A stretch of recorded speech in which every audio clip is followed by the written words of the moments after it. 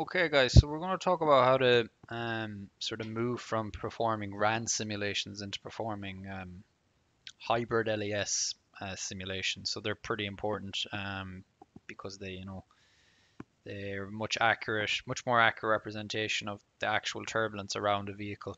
And, you know, RANS has been around for quite a while, so to be up to date with some modern publications, uh, you'd want to be able to perform this at least on on one of your simulations to just compare it to your RANS simulation. So if you had a study that had 40 RANS simulations, you might want to do one of them using the hybrid LES and see how things compare. And there's papers out there comparing the different methods. Uh, Grant, so how, how do you do that in Fluent? So obviously um, what I've just done here is I've exported uh, this here um, as a case file. Okay, so file export case. And I've all my stuff set up here and that's going to be um, put onto a sort of HPC and it's going to be accompanied by a batch file uh, just to say how long to run for and how many nodes to use and a fluent uh, .jou journal file and the journal file um, tells fluent uh, what commands to execute so I'll just open an example up here so I've named the case file um, VW transporter and you can see that there's these options here. So this runs the initial RANS. So the way, um, before you do your sort of, uh, um, I'll call that steady as well, or I'll just call it RANS. So before you do your hybrid LES simulation, uh, you will do a RANS simulation first and use that as sort of the initial condition before you switch to the hybrid LES solver. So this first part here um, effectively runs um, the RANS simulation. So another thing uh, to mention is this command here. So this uh, is very important to include.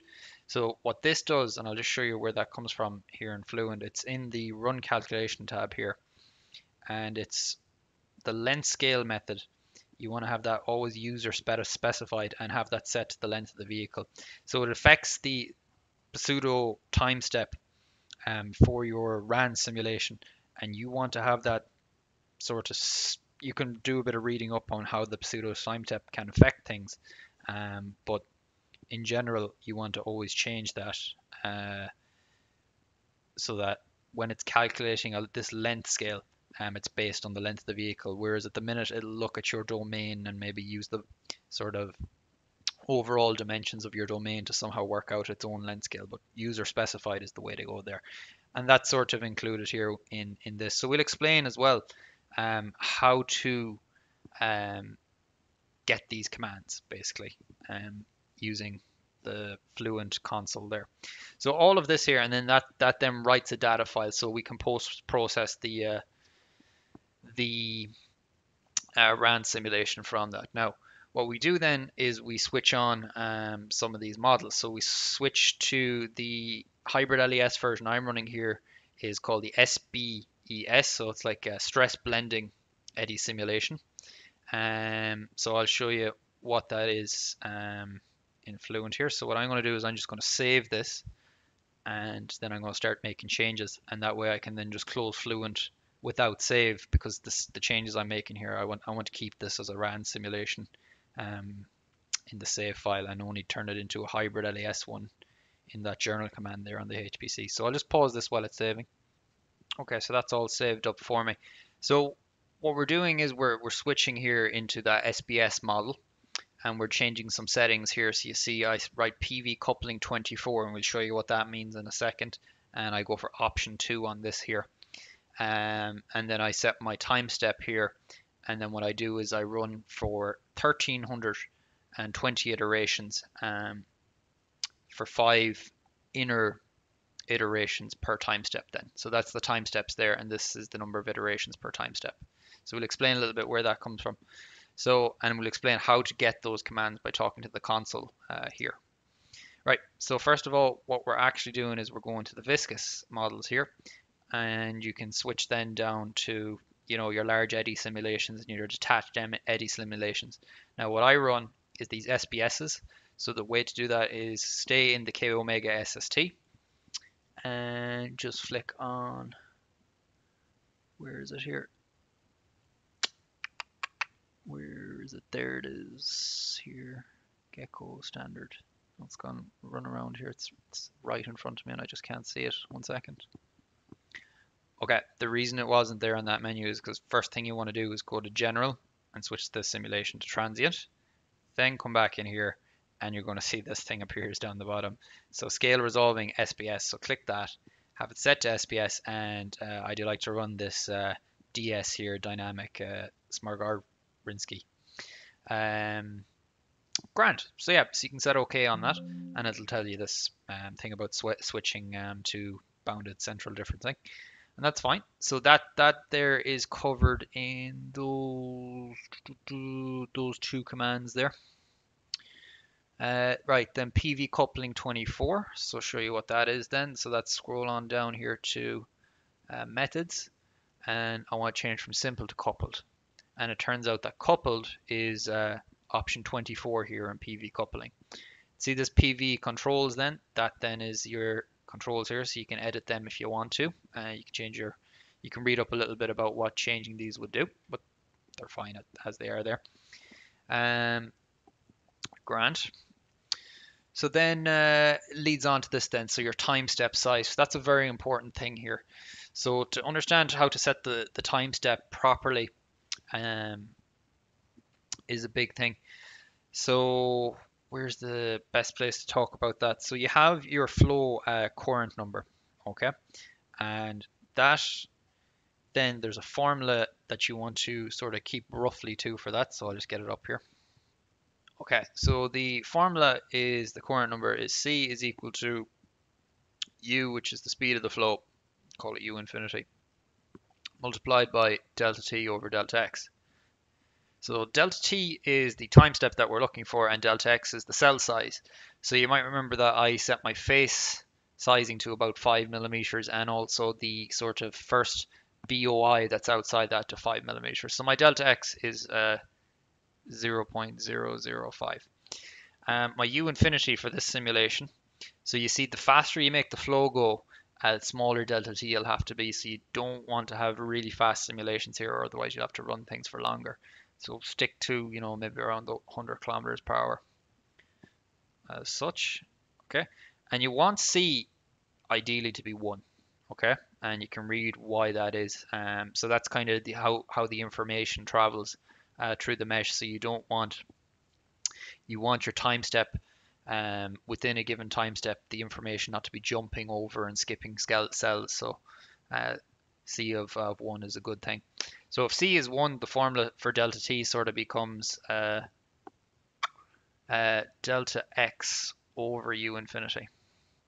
So you can see here if I have these values here, I'm told that the required um, time step should be 0 0.005 over 27.78. So that's coming in at about 1.8ish by 10 to the minus 4 seconds.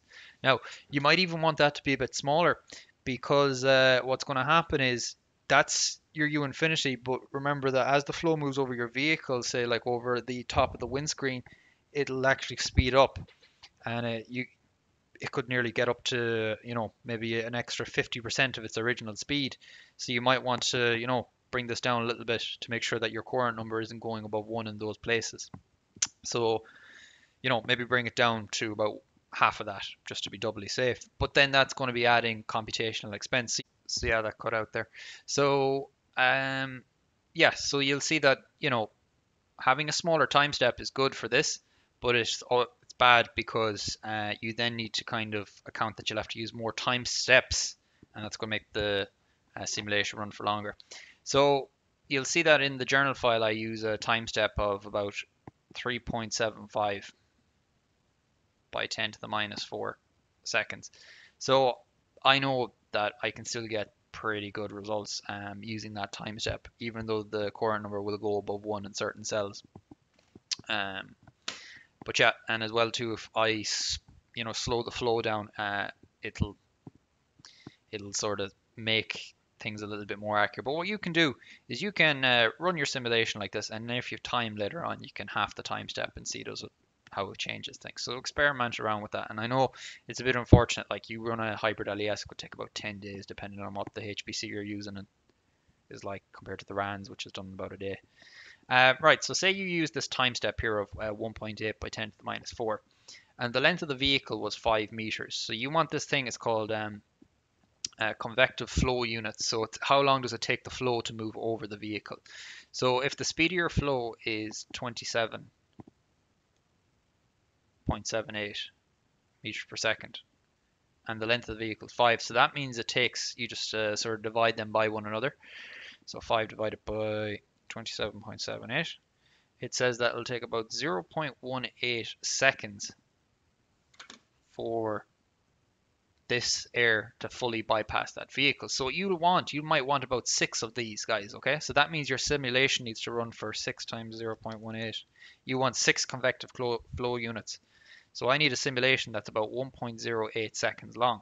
So the reason we want this is we wanted maybe you have about three initial um, flow passes, and then the last three flow passes, we want to take our averaging. We want to get our kind of time average mean statistics for the simulation and we'll also be taking our drag and lift coefficients from those last three flow passes and the first three are just a sort of a you know a buffer region uh, to kind of let the simulation settle so if this is the amount of time the simulation has to run for and then this is our time step then we can get the, the total number of uh, our time step size the total number of time steps required if we divide them by one another so we see that we need about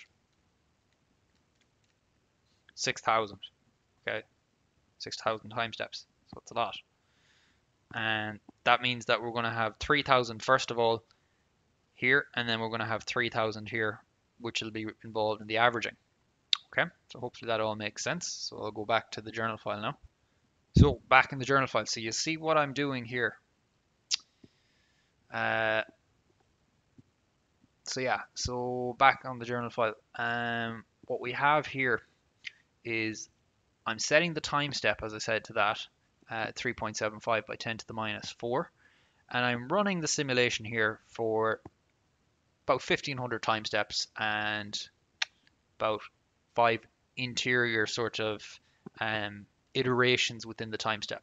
After that's done, then I turn on data sampling. So what data sampling does is it for the future iterations after or future time steps after this it's it's making sort of a mean flow um so that's we're going to be comparing that mean flow such as mean velocity mean pressure um, to our RAN simulation and comparing things so this these mean statistics are really important so data sampling on so that's what they call it it's a bit of an annoying name and then I add some data sets here. So there's only very standard ones that come with it normally. So you'll only get like um, pressure and um, velocity magnitude.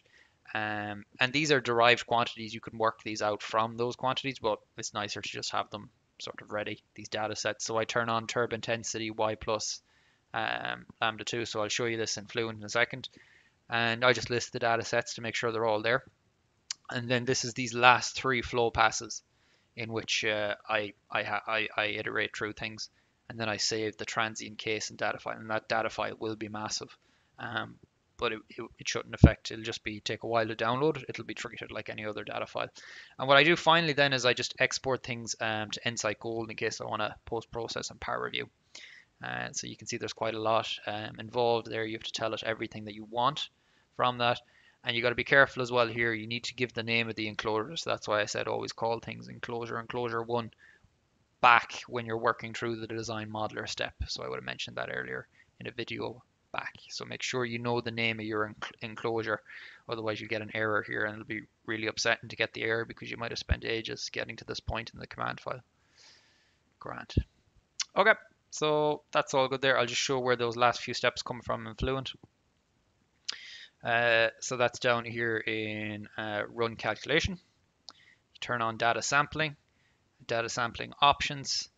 Um, just have it that has all them including force statistics included. Force statistics important to have included, and then the uh, sampling options I believe here is what I'm looking for. Yeah, and then that's the wall, and then I'm just kind of picking out the things I wanted here. So you see, and I selected like y plus and you know like lambda two And you see they're added there as data sets for the given um, things enclosure one. Cool. So that's that's all that is, and then setting the time step here, the number of iterations here. So that was all included in the in the journal file. And exporting to EnSight Gold is done there when you go export. Uh, you'd have the solution data already loaded in. If you loaded the data file in here, you'd be able to sort of export it as a solution data. Grant. So that's uh, that's sort of everything um, there and how to get it to run. Um, and so you might notice that might take five or 10 days to run on a HPC depending the number of cores you have and stuff. Um, so I'll do another video after this just showing some of the results from uh, hybrid LES to show on this van in particular um, and compare the results to the RANs and the uh, hybrid LES. Okay, thanks guys.